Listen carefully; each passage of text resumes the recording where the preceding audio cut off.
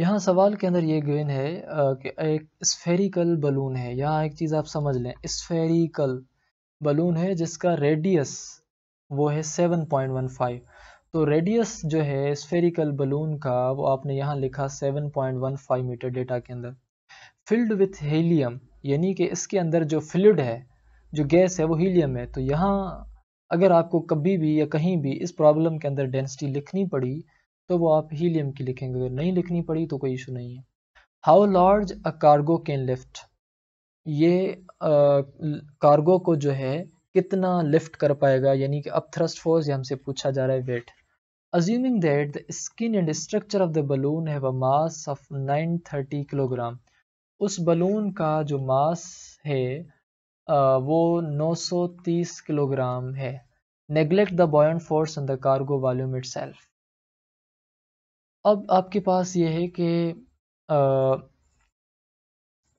Mass of the balloon आपको given है weight आपको गिवन है और आ, वो वेट आपको या थ्रस्ट फोर्स आपको मालूम करने अब थ्रस्ट मालूम करने के लिए आपके पास जो फार्मूला है वो है density into volume into gravity अब इस फार्मूले को डेंसिटी और वॉल्यूम दोनों चाहिए मगर दोनों इस प्रॉब्लम के अंदर डेटा में गिवन नहीं है।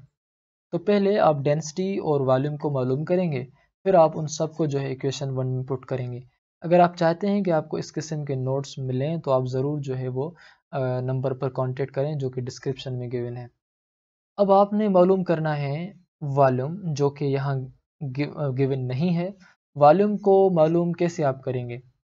आपको ये चीज़ मालूम होनी चाहिए कि यहाँ आपको उसने कहा कि एक बलून है, वो स्फेरिकल है।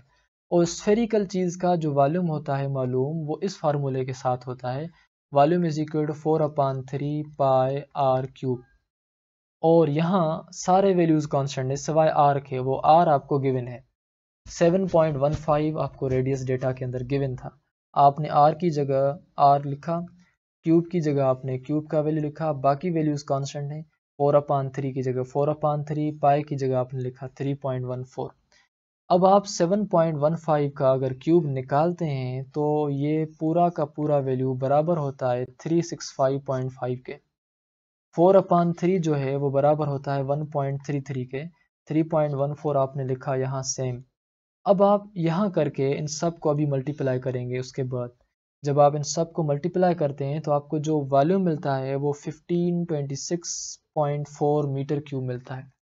वॉल्यूम के बाद जो दूसरी चीज़ अननोन है वो है डेंसिटी डेंसिटी को मालूम किस तरह से आप करेंगे वो आप मालूम करेंगे उनको आ, उसके मास के ज़रिए से और उसके वॉल्यूम के ज़रिए से. तो we know that density is equal to mass upon volume mass कितना था? 930 किलोग्राम. वॉल्यूम कितना है? 1526.4 मीटर क्यूब अब इसकी मदद से आपने मालूम कर ली density 0.604609 kilogram per metre cube. ये डेंसिटी है उस हीलियम की जो उस बलून के अंदर अंदर जो है भरी हुई है।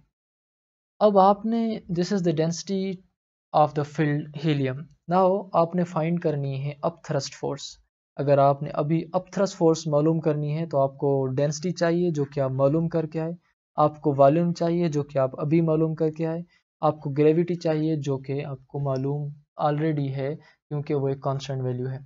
ग्रेविटी की जगह आपने लिखा 9.8 वॉल्यूम की जगह आपने जो अभी वैल्यू फाइंड किया, वो लिखा 1526.4 डेंसिटी की जगह भी आपने अभी जो वैल्यू मालूम किया, वो आपने लिखा 0.609 अब आप इन सारे वैल्यूज़ को करेंगे आपस में मल्टीप्लाई तो आपको मिलेगा nine one zero nine newton अब ये फोर्स है अब थ्रस फोर्स और इस फोर्स को आप लिखेंगे 9.1 point one into ten power three newton अगर आप इसको साइंटिफिक नोटेशन में कन्वर्ट करते हैं।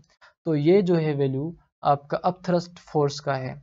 In this way we have found the answer of this question